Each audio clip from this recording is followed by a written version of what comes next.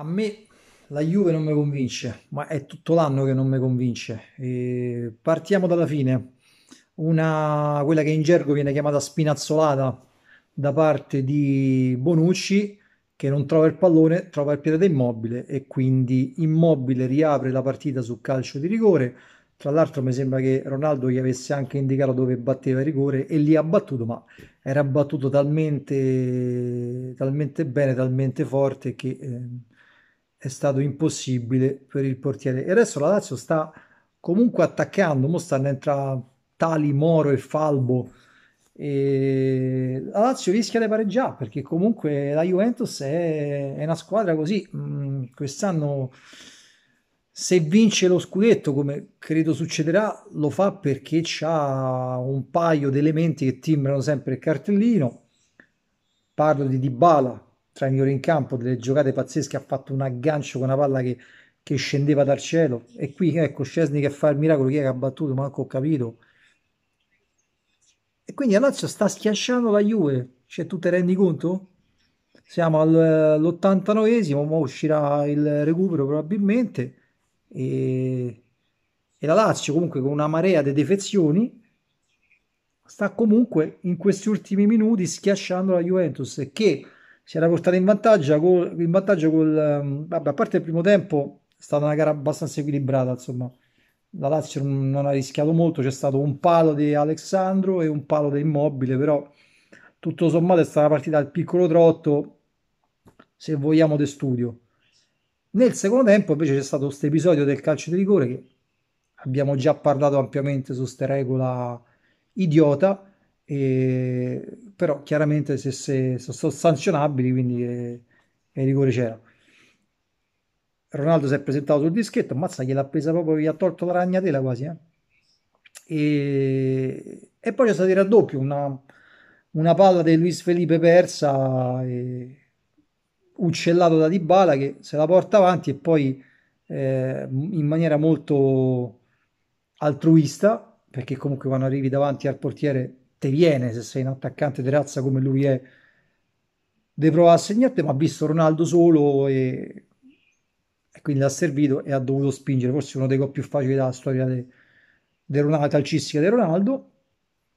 Poi niente, appunto c'è stata questa spinazzolata che ha riaperto la, la partita e adesso c'è la Lazio che ecco, ha appena sfiorato il gol sul calcio di punizione, un miracolo di Scesni e sta andando avanti. La Lazio sta con dei ragazzini in campo, è diventato pure Adecani, insomma, la Juve non mi convince. Sì, Rabiot ha fatto una buona gara, Bentancur, però insomma dietro si vedono spesso sbandamenti clamorosi e, e cavolo. E questo è pure se pure fallo forse no vabbè comunque 5 minuti di recupero ne mancano 4 è appena passato il 91esimo ci aggiorniamo. Volevo dire una cosa ho fatto caso spesso a, a, Ronaldo quando fa le faccette sai quando magari gli fischiano le cose o quando gli danno il pallone. Lui fa delle faccette.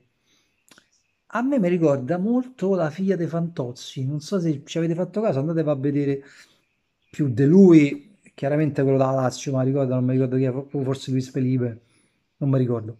Però comunque sia ci, si avvicina, questa è una nota di colore, non c'entra niente, però insomma, siccome manca ancora due minuti, adesso c'è un contropiede della Juve, non sapevo come impiegare il tempo, e quindi ho sta cosa. Insomma.